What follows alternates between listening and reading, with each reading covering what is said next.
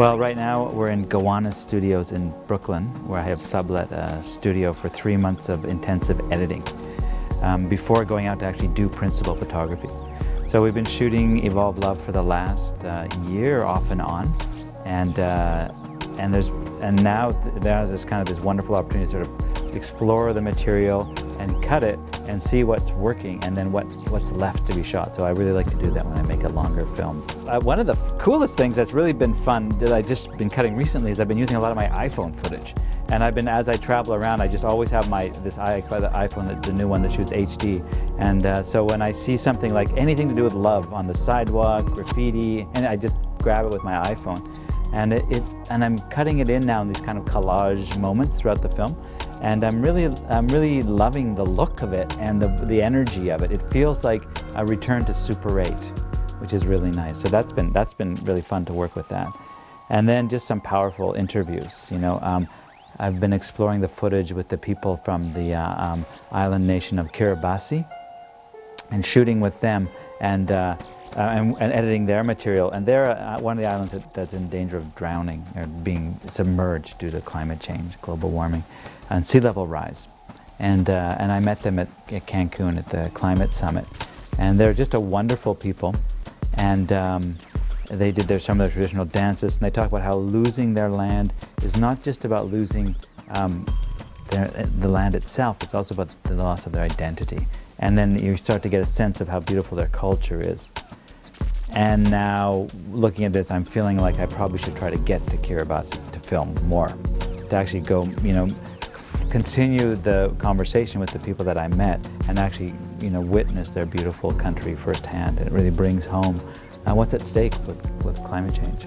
I think the, the um, what's missing right now is the like the stories. I feel like I have a lot of the weave around the big picture, the ideas, um, and uh, um, and uh, several excellent scenes that are scenes. Like the, the we went to the tar sands, the Alberta tar sands, and traveled with the indigenous people on a healing walk around the tar sands. And that feels like there's, there's a scene there, um, as well as the, the, the Cancun Climate Summit and Bolivia, going to Bolivia.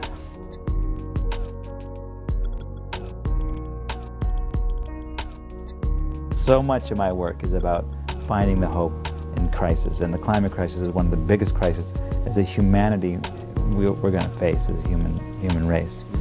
Um, Scared Sacred was about traveling to these ground zeros around the world looking for hope in crisis in Hiroshima and New York City, 9-11 and Afghanistan, and Israel and Palestine and Bosnia, all these individual ground zeros.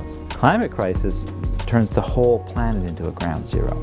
And so how do we find the hope in that? It's almost like all my work has been preparing me for this question. How can, in fact, that become a love story? How has the climate crisis intensified or deepened since I started shooting the film? And that's a, it's very subjectively, of course, it's deepened for me because I've gone so deeply into the subject of the climate crisis. And that's been a real, uh, a real wake-up call. You know, I mean, I'm looking at this footage over and over again, and, uh, and you know, Bill McKibben talks about how, you know, so many climate scientists feel like they're in that kind of nightmare dream where there's like a scary monster that's looming over us and you keep trying to shout and no one can hear you no matter how loud you shout. And you you know and you can't understand why people can can't hear you. You shout but no words come out of your mouth.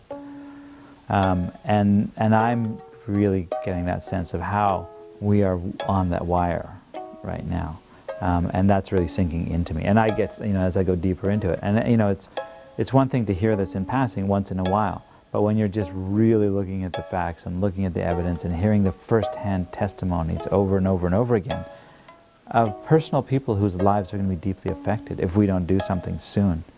Um, so for me, it's, it's, it's sinking into my bones. And then the whole understanding of love is this parallel journey of this film. What, is the what are the different forms of love? And that's also simultaneously a real gift the film is giving me as I dive into the understanding of love, from the personal love to the, to the uh, tribal love, to the planetary love, to the universal love, all these different forms of love, all so essential to what it is to be human, and so offering the tools to actually help us deal with the crisis that we're facing. So I'm, at the one hand, I'm diving into all this intense truth about you know how you know like wow we're in trouble Um, and at the same time, I'm getting all this, these tools of how to keep my heart open and, and transform it, and, and how to see it as a possibility as, for an evolutionary bounce or an evolutionary leap, which is really what the, the heart of the film is, evolving love.